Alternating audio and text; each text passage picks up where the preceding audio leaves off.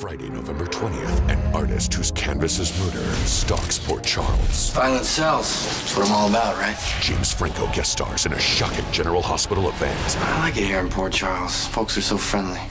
General Hospital.